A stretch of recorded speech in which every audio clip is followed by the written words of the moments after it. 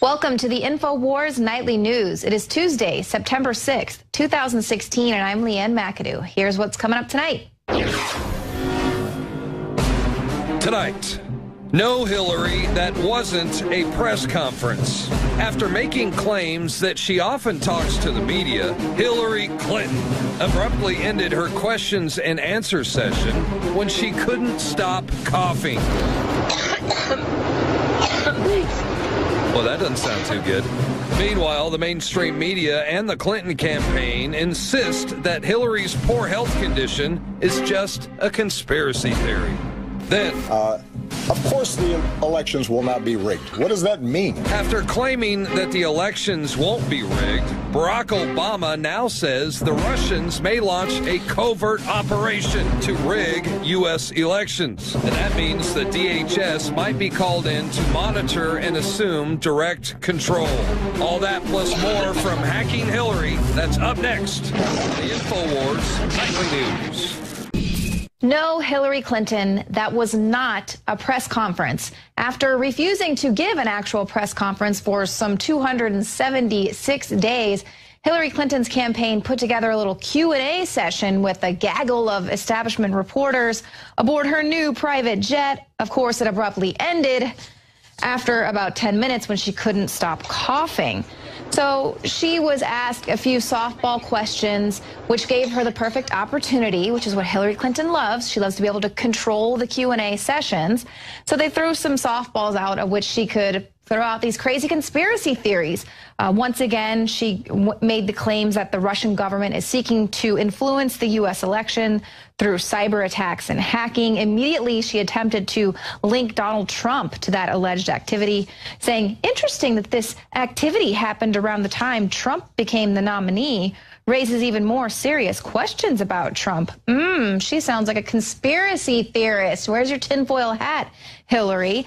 Um, so then they, they also kind of went on to say, are you going to close Guantanamo Bay if you get elected, which that's an absurd question to ask her considering the scale of scandal that she is mired in. And not to mention that Obama is doing a really good job at clearing the place out of these potential jihadis.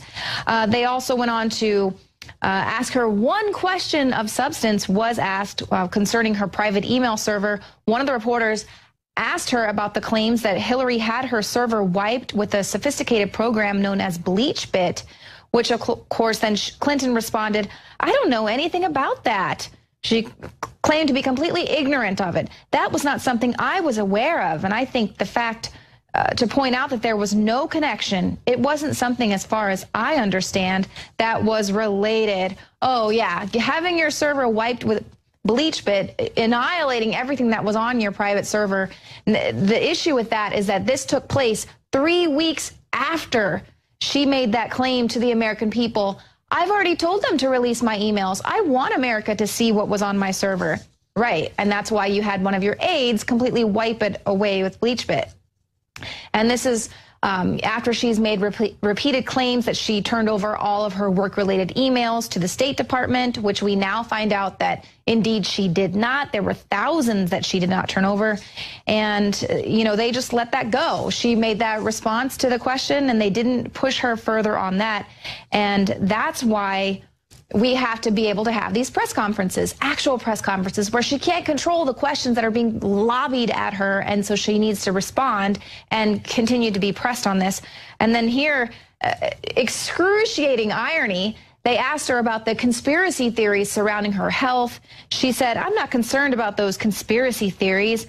I pay no attention to them and that was just minutes before she had to stop the Q&A session because she could not stop coughing, hacking, okay? And just as just as she did earlier in the day, uh, there, Millie Weaver got that on Periscope, her for about four minutes of like tremendous hacking. So we'll get to that later. But now, in spite of the Labor Day dump, we told you that this is this is what they do. Whenever there's a big holiday weekend, they put out more of the emails and more things related to Hillary Clinton because we see this collusion and cover up from all angles. Well, now the Trump campaign is calling on the FBI to make the additional Clinton email investigation records public. Uh, the campaign manager says not only do the FBI interview notes underscore Hillary Clinton's terrible judgment, incompetence, and dishonesty, they raise serious questions about whether emails regarding the terrorist attack in Benghazi were intentionally destroyed while under congressional subpoena. According to the FBI's notes, an intense round of deleting began weeks after lawmakers subpoenaed Clinton's emails following the New York Times report exposing her secret server. So they give you the key dates there. If you scroll down, you can see that on March 2nd of 2015, the New York Times reported on the existence of Clinton's private email system. Immediately following that report, the Benghazi committee subpoenaed emails from Clinton's private server.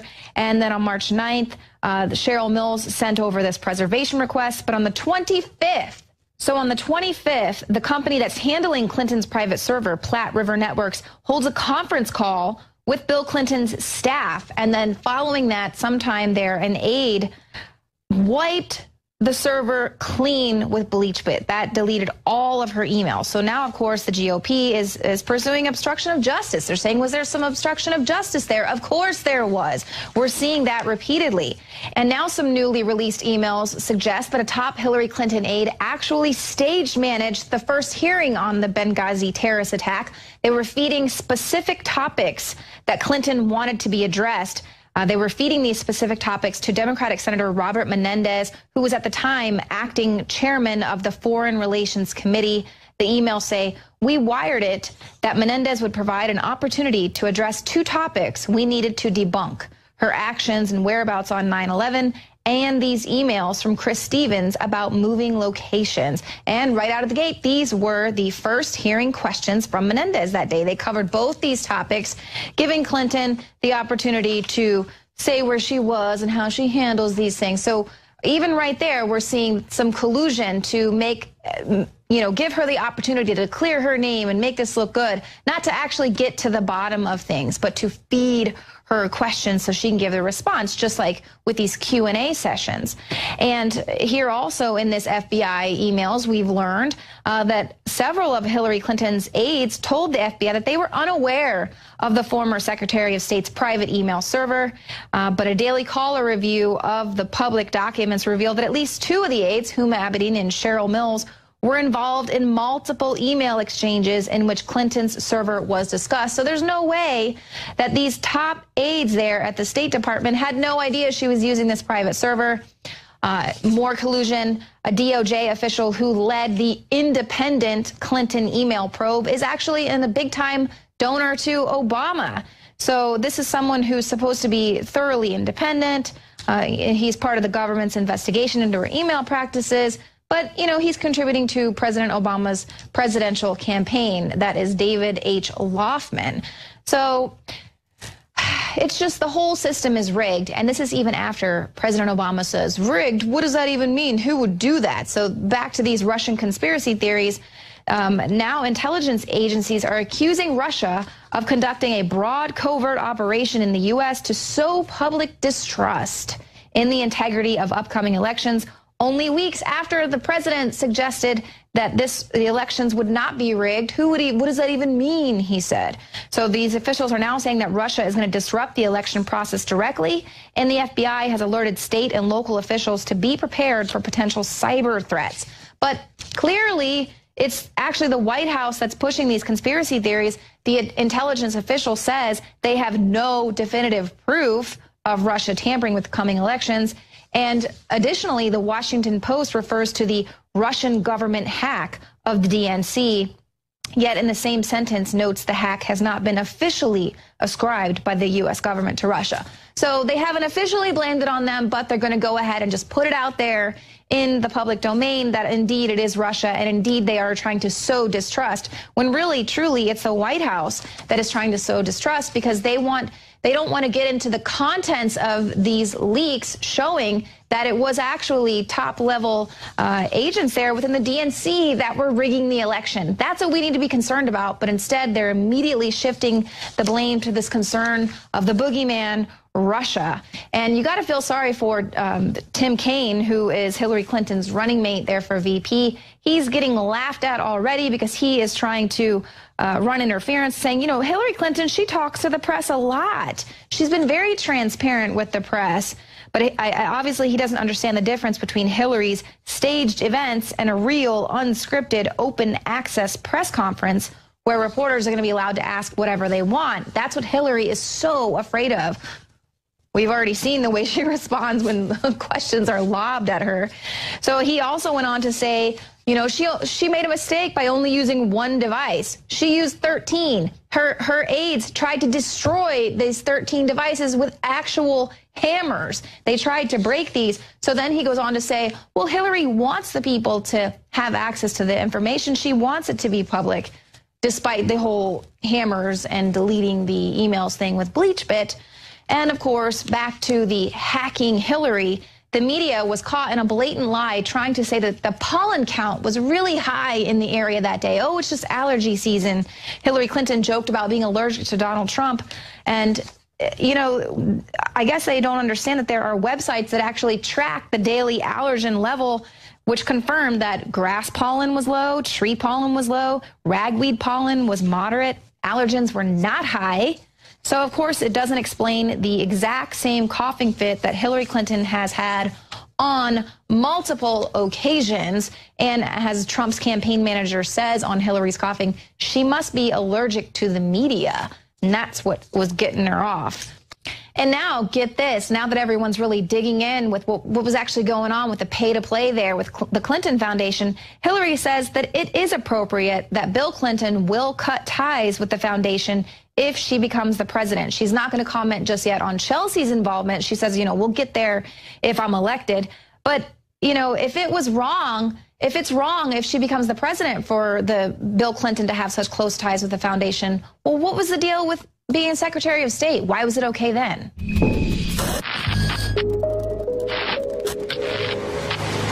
We are spiraling headlong into what amounts to the final two months of the presidential race. But where is Democratic nominee Hillary Clinton? What difference at this point does it make? Days ago, Hillary Clinton had not held a press conference in 274 days. That's right. Hillary Clinton had not held a press conference in all of 2016, an election year, until this sham. Hillary, surrounding yourself with what amounts to the press corps over at Teen Beat doesn't amount to a press conference. Why has she been absent? It's obvious that Hillary's frail health can't deal with the monumental deviance that is her growing email scandal. More damning evidence came to light as the architect of the email cover up, former Clinton Chief of Staff Cheryl Mills, clearly obstructed the FBI's investigation by deleting emails with .com addresses, only saving the emails with .gov or .mil eliminating all of Clinton's then Chief of Staff Huma Abedin's, Mills, and other aides' correspondence between Clinton. Judicial Watch President Tom Fitton said the FBI saw massive document destruction and clear intent to withhold material evidence. He added, and they just ignored that obstruction and even let her sit in on the interview. Correspondence between Clinton and Abedin, who regularly emailed her boss from Huma at clintonemail.com and H. Abedin at hillaryclinton.com is crucial, Fitton said, because Abedin acted as the go-between on requests for access to Clinton from shady foreign Clinton Foundation donors. He says the mushrooming pay-for-play scandal is the real reason the former Secretary of State set up a private email system in the first place. The whole thing was designed to keep Clinton Foundation emails from investigators, he said. Meanwhile, as Donald Trump becomes increasingly presidential, reaching out to the Mexican people, the flood victims in Louisiana, and the forgotten manufacturing corpse of Detroit, Hillary is elsewhere, preferring to rub elbows with those she is truly comfortable with and serving, the ultra rich. Trump wants to cut taxes for the super rich. Well, we're not going there, my friends. I'm telling you right now, we're going to write fairer rules for the middle class, and we are going to raise taxes on the middle class. Hillary has been jet setting from one elitist fundraiser after another and is taking pre written questions from children to the tune of $2,700 apiece. You become president. What is your plan to connect mental health problems and guns to make sure that me, my brothers, and my friends are safe from violence at school? I think we need to pass some laws that I have been advocating for We need comprehensive background checks. We need to close the gun show loophole, close the online loophole. But the gun lobby lives off of fear and misinformation. Open Secrets reveals Trump has raised 127.6 million, 2% of that coming from super PACs and 98% from campaign donations. While Hillary has raised 435.3 million, 28% from super PACs and 72% from donations. Hillary is clearly the Wall Street candidate and is propped up by a corporatocracy that has infested our republic. Meanwhile, the dying mainstream media continues to whitewash her poor health, absence from duty, and her own bungling of the issues. Her popularity ratings are sinking right now. And I'm not sure they're sinking because she's campaigning too little or too ineffectively or because she's campaigning too much. I sort of suspect the latter and that she'd do better if she was even quieter than she is now. And the media continues to fall on its sword, going with the narrative of total propaganda, as was in the case of the Huffington Post article titled Conspiracy Theorist Alex Jones Boasts About Advising Donald Trump. Editor's note Donald Trump regularly incites political violence and is a serial liar, rampant xenophobe, racist misogynist, and birther who has repeatedly pledged to ban all Muslims, 1.6 billion members of an entire religion, from entering the United States. This is what we can expect from a completely propagandized media as it protects the globalist choice and possibly sickest candidate since William Henry Harrison in an attempt to enter the Oval Office. John Bowne for Infowars.com.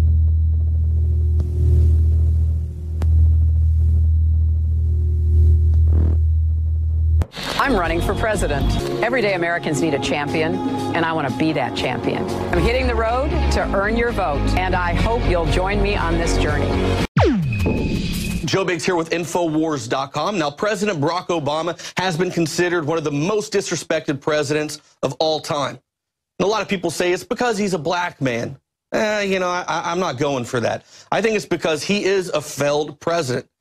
Obamacare, a failure. The fact that he can't even go and visit with the people in a timely manner in Louisiana. Instead, he's too busy playing golf. Meanwhile, Donald Trump goes down there and gets the job done quickly, and he gets it done actually by handing out stuff, helping out the people, showing that he cares. President Barack Obama this weekend actually went to Laos late Monday night to become the first U.S. president ever to visit the Southeast Asian country. He encountered more than his usual share of friction and confrontation on his 10th trip to the region. It started with his arrival at the airport in China, where Chinese officials failed to provide Obama with a staircase to disembark from the upper door of Air Force One down onto a red carpet. Instead, he had to use an alternative exit on Air Force One, which is located on the bottom of the plane, and many saw it as a deliberate sign of dis disrespect by the Chinese. And who do you think is going to chime in on this situation? Donald Trump. Donald Trump tweeted out this weekend China wouldn't provide a red carpet stairway from Air Force One, and then Philippines president calls Obama the son of a whore. Terrible. Another tweet can you believe that the Chinese would not give Obama the proper stairway to get off his plane? Donald Trump also said that he would have refused to meet with the Chinese officials if they treated him like they treated Mr. Obama. Donald Trump then said, if that were me, I'd say, you know what, folks, I respect you a lot. Let's close these doors. Let's get out of here. Mr. Obama downplayed the episode like he always does and pretty much blew it off like nothing happened at all. Also, there were running verbal battles between Chinese and U.S. officials and U.S. journalists at the G20 summit. A Chinese official tried to block White House National Security Advisor Susan E. Rice from moving closer to Mr. Obama at the airport, forcing a Secret Service agent to intervene. Now, this leads me to another article by the New York Post. This is our country. Tempers flare as Obama arrives in China. On the tarmac, a quarrel broke out between a presidential aide and a Chinese official who demanded the journalist traveling with Obama be prohibited from getting anywhere near him. It was a breach of the tradition observed whenever the American president arrives in a foreign place. When the White House official insisted the U.S. would set the rules for its own leader, her Chinese counterpart shot back, This is our country, this is our airport, the Chinese official yelled. So you can see simply that people do not have respect for America like they used to. And that's what we need a true leader. That's why the populace is Donald Trump. That's why people are standing in line for hours and hours upon the thousands to go listen to this man speak because we're tired of having a president that is disrespected by countries all over the world. That is not going to happen under Donald Trump. Before leaving China, Mr. Obama held what's likely to be his final meeting with Russian President Vladimir Putin, who has bedeviled Mr. Obama virtually since day one. They talked about a ceasefire in Syria, where Russia supports the regime of President Bashar al Assad, but reached no conclusion. Then they discussed Russia's aggression in Ukraine, but reached no conclusion. And yet again, Mr. Trump fires back with another tweet giving his opinion on about what he thinks took place. President Obama and Putin failed to reach deal on Syria. Obama is not a natural deal maker. He only makes bad deals. Amid all the friction, Mr. Obama did make progress on one of his prime legacy goals, formally entering the U.S. with China into the Paris Climate Change Agreement to reduce carbon emissions globally. In Laos, Mr. Obama was to hold his first meeting with new Philippine President Rodrigo Duterte, but the White House canceled it after the Philippine leader called Mr. Obama a son of a bitch on Monday. You must be disrespectful, Mr. Duterte said of Mr. Obama. Do not just throw away questions and statements, son of a bitch. I will curse you in that form. We will be wallowing in the mud like pigs if you do that to me.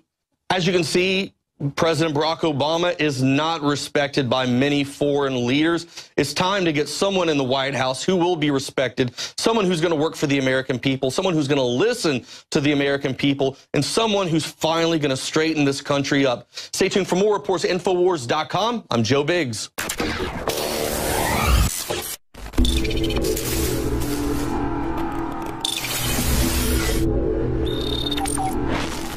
Ladies and gentlemen, Donald Trump is now surging in the polls, and he has just received what might be his strongest endorsement yet.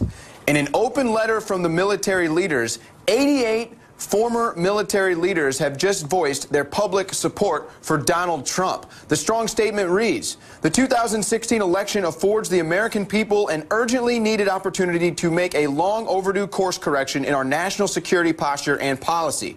As retired senior leaders of America's military, we believe that such a change can only be made by someone who has not been deeply involved with and substantially responsible for the hollowing out of our military and the burgeoning threats facing our country country around the world. For this reason, we support Donald Trump's candidacy to be our next commander in chief. Not only are these strong words of support for Donald Trump, this is actually also a knock on Hillary Clinton and Barack Obama, who are responsible for the unrest in the Middle East and the purging of the military. The statement goes on.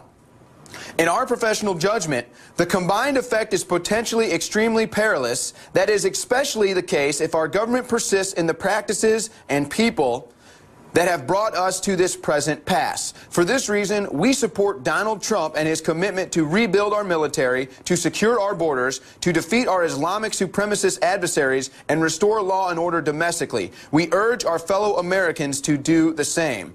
Now, this is the same message that Donald Trump and Mike Flynn encouraged in Virginia today asking people to get their family and friends to get out to the polls and vote Donald Trump. Is this Donald Trump's greatest endorsement yet? This shows that Donald Trump is not alone. He has support from the military in his efforts and in his foreign policy.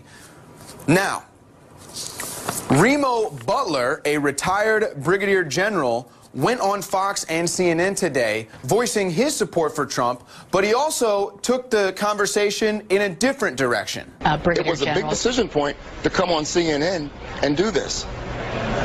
And I do appreciate your being as here. A, especially as a, as a black man. Why is that? The media sets the tone. If you watch the media and you watch TV, you would think that all black people are on welfare. We live in the ghetto. We get, we're so afraid of getting shot, and we wear our hair in dreadlocks. And so to me, that means that Remo Butler is not just supporting Donald Trump as a former member of the military, but also as a black American citizen who is sick and tired of the mainstream media determining how the black voter should feel. Now, is this Trump's greatest endorsement? Are we going to see the military and black people in America coming out for support of Donald Trump? Right now, the polls are showing it. CNN and Fox both had to admit today that Donald Trump now leads Hillary Clinton in the polls. Of course, the Washington Post is still running with the false narrative that Hillary Clinton has the lead over Donald Trump. For more coverage on the 2016 election, visit Infowars.com.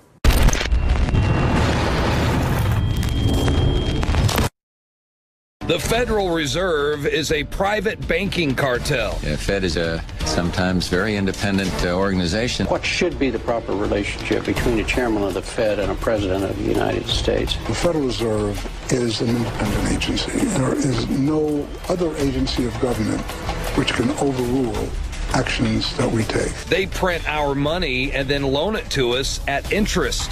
The IRS is their collection agency. So long as that is in place and there is no evidence that the administration or the Congress or anybody else is uh, requesting that we do things other than what we think is the appropriate thing, then what the relationships are uh, don't frankly matter. Jeff Duncan says he saw IRS special agents using semi-automatic rifles at a gun range. Now he wants answers to why the agency needs that type of firepower. Is this global governance at last? Is it one world? The central bankers in charge. Know your history, and you will know your enemy. Infowars.com. I'm not gonna sit here and take it anymore. Joe Biggs here with Infowars.com. Conservative icon Phyllis Schlafly dead at 92. She is and was an icon of human liberty, said Alex Jones. Without trailblazers like her, we would have no chance against the forces of tyranny. Schlafly, a formidable pro-family grassroots organizer who was politically active for 70 years, founded the Conservative Eagle Forum in 1972 and served as president since then, overseeing the organization's rise to 80,000 members today. Her focus from her earliest days until her final ones was protecting the family, which she understood as the building block of life. The Eagle Forum said in a statement she recognized America as the greatest political embodiment of those values. From military superiority and defense to immigration and trade, from unborn life to the nuclear family and parenthood, Phyllis Schlafly was a courageous and articulate voice for common sense and traditional values. You can find more reports like this at Infowars.com.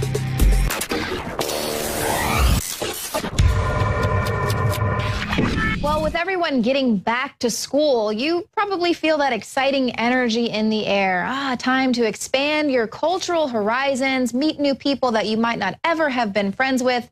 But no, in today's age, now it's all about compartmentalization, putting people in their special little groups, not allowing any sort of commingling with anyone that might trigger you or offend you. Ashley Beckford joins me now so we can talk a little bit about this. It's yes. not about equality anymore and everyone kind of joining together. It's all about superiority and the superiority of your special little victim class. That's exactly right, Leanne. What it's all about today is a culture of victimization. It's no longer, you know, we're all trying to understand each other and kind of get into our, um, you know, cohesive group, like what brings us to this city if we're in a particular college or what what have you what brings us to you know this university. It's all about let's get into our culture of victimization. Let's see how many points we have on the victim scale and let's see you know well what... also it's racist and you yes. might trigger someone if you ask them exactly. where they're from because you know then you're insinuating that they're not from the united states. Right. That's racist. Yes, so you, you can't even have conversations with people. Microaggressions are the big thing that we're going to talk about today. Yeah. it's happening all over the country and really the world. Right. And so yeah. one of the big stories out right now is that uh, California State University in, in Los Angeles, they just rolled out segregated housing for black students. So this is an arrangement. It comes just about nine months after the university's Black Student Union issued a set of demands in response to what its members contend are frequent racist attacks on campus, such as racially insensitive remarks and microaggressions by professors and students. And so now, rather than having students get to know each other, get, you know, get to commingle with people they might never have become friends with, exactly. never have struck up conversations with, they want to provide a safe space where they can connect and learn from each other. Which so is just ridiculous just, because it's like you have no sa safe space. In the real world, you actually have right. to be out there interacting with people of all different types of, you know, ethnic backgrounds, all different types of socioeconomic backgrounds. And I don't agree with the sociology, uh, you know, the social, uh, the socialist ideology that says that basically everything is class struggle, everything is oppression. So you need to see oppression in every single moment of your life. That's basically what it's about. Exactly. And this is not a historically black college. So why are you now segregating a university? It's if it's you wanted to be segregated, go to a historically black college if that's the kind of experience that you seek. Right. Uh, but now because of these demands, they're completely rearranging the way that uh, students are learning. And now, rather than uh, with this freshman orientation, where they would normally uh, talk that talk them through tutorials on campus technology, give them advice right. on how to choose classes. Now it's all about these identity politics and training them not to commit any offensive microaggressions. That's exactly right. Insults. They want to get them when they're really young. They want to get them when they first get in there. And instead of teaching them about how to interact, uh, you know, cross culturally, which is typically what you would learn, they're actually teaching them how to segregate themselves into these little cliques. And it basically takes away from that whole idea of diversity. It's really the exact opposite. I am just so thankful that I graduated before I would have had to take this freshman orientation exactly, against right. uh, safe, spa safe spaces, trigger warnings. It's the whole new campus vocabulary on subtle microaggressions. Just about everything you do could be considered a subtle microaggression. So right. what is that? These are comments, snubs, or insults that communicate derogatory or negative messages. It might not be intended to cause harm, but they're targeted at people based on their membership in a right. marginalized group. Just simple things. Uh, they talk about actually here, they keep creating new terms to uh, describe the oppression that uh, they're going through. And one of them is environmental microaggressions, environmental microaggressions. You enter the chemistry building, they're taking it into the STEM courses now too, and you see all the pictures are of males. So if you're a female like me or Leanne, you're going going to feel that you're not welcome, you're not represented. That's ridiculous. It just so happens that a lot of the scientific, you know, developments have been created through white males. Uh, and then and then you have micro invalidation. They're saying that uh, just merely suggesting that your race or your ethnic background actually uh, did not play that great of a role in uh, planning out your life, that's a micro invalidation. That's saying, you know, you're not able to. Uh, Everyone can succeed in this society if they work hard enough. that's racist. That's racist, exactly. Well, that's a microaggression. And here we're actually starting to see some of these. Um, seeing this sort of playing out, people are actually losing their jobs wow. if they commit these microaggressions or they don't issue a trigger warning before they post on a Facebook page.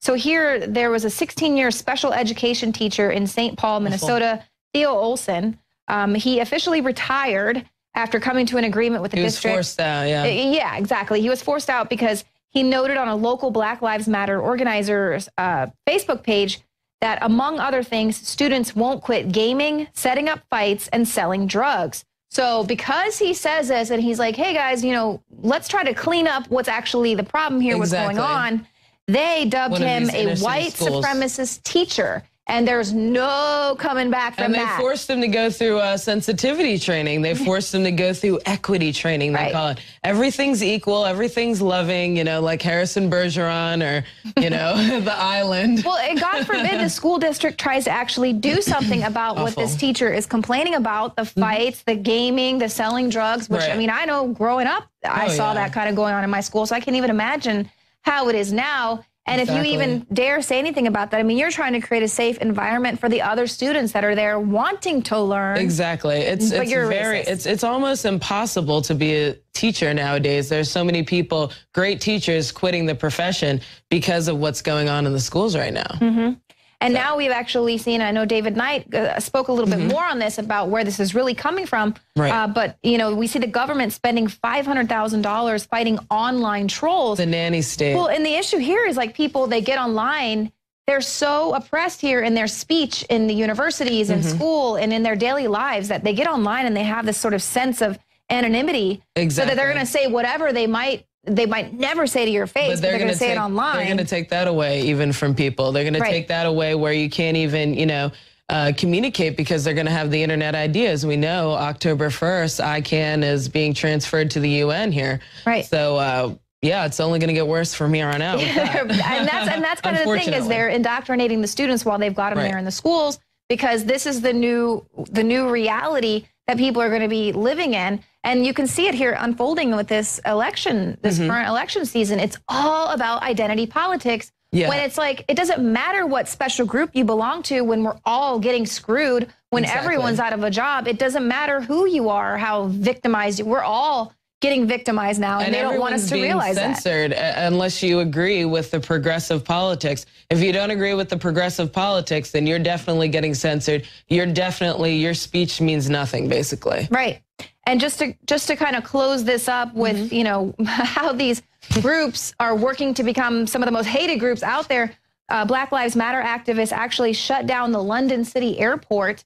Uh, flights were de- dis- delayed. Nine protesters locked themselves together right there on the runway, posted pictures of it. Seven people have been arrested so far. But get this. This is a they did this. they did this because they say the climate crisis is a racist crisis. Cut emissions. So this is what this group you know, you can't be all things to all people. And right. now this is what happens when you take that money from George Soros. Now you've got to fight the fight of climate change and and you know this and that it's like you can't be all things to all people.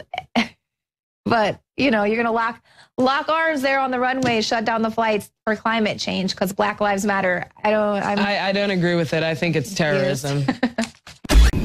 Well the feds are about to spend a half million dollars to protect us from online trolls. It sounds like a great deal doesn't it?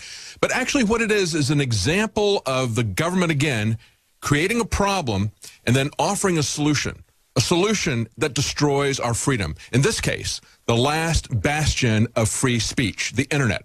They'll do it by not protecting us from trolls, but by creating a de facto fingerprint. Now, you wouldn't go to the federal government for permission to use the internet, would you? Most people would balk at that. If the government at some point came out and said, you're going to have to register with Homeland Security, and we're going to give you an ID that you'll use everywhere on the internet. Most people would say, no thanks, not going to do that. They would rebel against it. But what they're going to do in the name of protecting us from trolls is to create a de facto fingerprint without your knowledge, without your permission. How is this going to work? Well, quite frankly, it is a tale that includes CISA or CISPA or SOPA or ACTA or PIPA. Remember all of those uh, different efforts to allow corporations to turn over our information to the government without us being allowed to sue them for violation of privacy or for terms of agreement. They finally got it through with CISA. They told us that they needed it to protect us from, you know, foreign aggressors, not from the federal government. And this is where they've been headed all along. Let's look at how this is going to break down. Of course, this is an article that was uh, put out by the Daily Caller pointing to a couple of grants that have come out. And of course, they say that this uh, work is going to help to combat troll armies that are being used by Russia and China. They point out in the article, and this is what has been sold to us by the people who are pushing through this half million dollar grant for these people. They say that uh, Russia's troll army is a government sponsored paid group of people who are out there to push an opinion with blog on blogs and on the internet on YouTube. Of course, we know the same thing is being done by the Chinese Snowden told us that it was being done by the UK. And of course, we know that it is being done by the American government. You can see it if you go to the comments section on YouTube for InfoWars videos, uh, for InfoWars articles. We know that this is happening. Now, what they're telling us is that this is something that is going to protect us.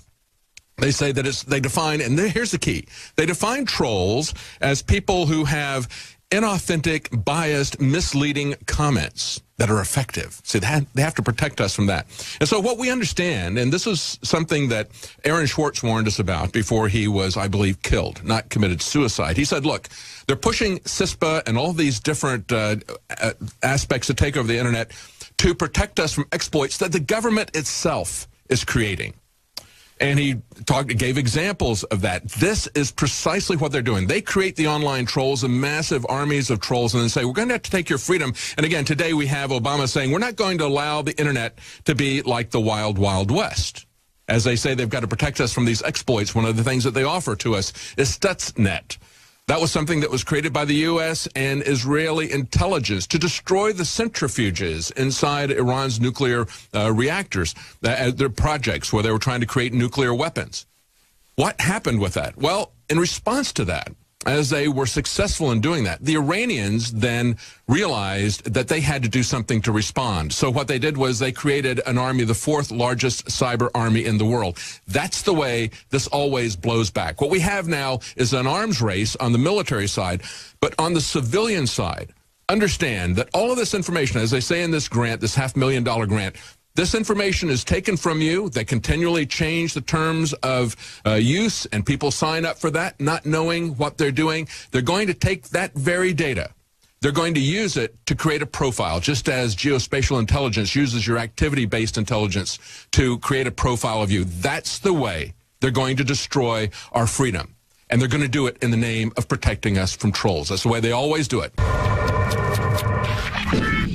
Leaked documents from George Soros' Open Society Foundation continue to reveal the extent to which the group influenced the political response there to Europe's refugee crisis. Now, joining me is Margaret Howell. Uh, let's go ahead and break this down. Uh, so basically, to the tune of about $600,000, they are pushing this pro-refugee agenda. That's right. So they're trying to counter xenophobia, uh, xenophobic attitudes in Europe, um, and he's doing more than than doing this mainstream uh, polite push to try to normalize the refugee climate that we're in. He's bullying and censoring what he can't normalize in the collective psyche. And 600,000 in lobbying efforts and uh, wanting to make the religion of peace uh, us be more tolerant to mm -hmm. it. The same religion of peace. Uh, he doesn't say though whether he's trying to normalize tolerance tolerance within the religion of peace, which is right. very uh, astonishing to me because we're talking about the same religion of peace that, uh, you know, Milo Yiannopoulos coined a piece last week called The London We Lost, and how he talked about as a gay man, he doesn't really feel safe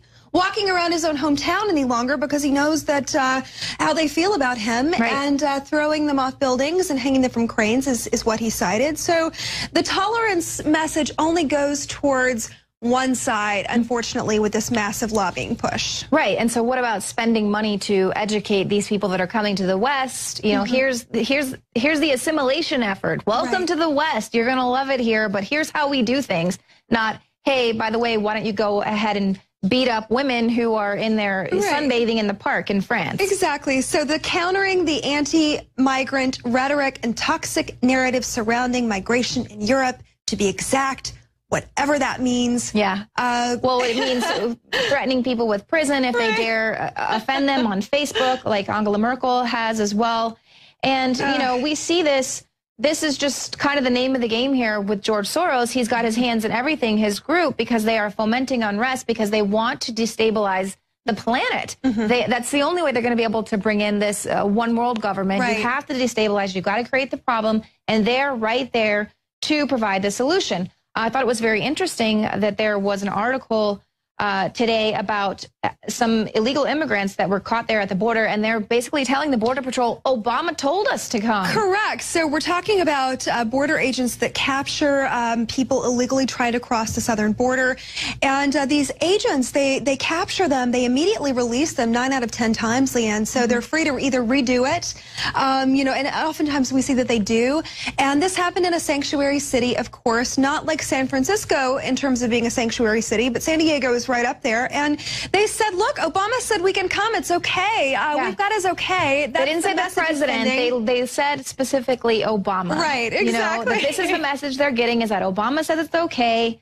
Um, and, you know, this is what's happening in these refugee countries as well. All they got to do is, is claim political asylum mm -hmm. and they mm-hmm. can come right in. And so they don't want to go to the countries that'll actually take them. Like I know Portugal is saying, hey, come on in, we'll mm-hmm. take you. And they don't want to go there. It's, they want to go where the handouts are. Right. We have just such, like coming into the U.S. We have such a massive uh, program in place. So it, for the, the refugees that uh, the State Department has rubber stamped in, you won't believe the benefit package. The, the visa application process is so streamlined. It's basically like, hello, you're in. Oh, by the way, here's a house here's our education, here's food indefinitely, have as many children as you'd like. We've got you. We know we promised that we would cure the homeless veteran population. That that was one of Obama's pledges. Mm-hmm. That that hasn't happened, but he's going to fast track people who are going the illegal route to come through here. Not that not rewarding the people who have been patiently waiting, trying to abide by the laws of coming to this country legally and going through the rigmarole of the whole visa process.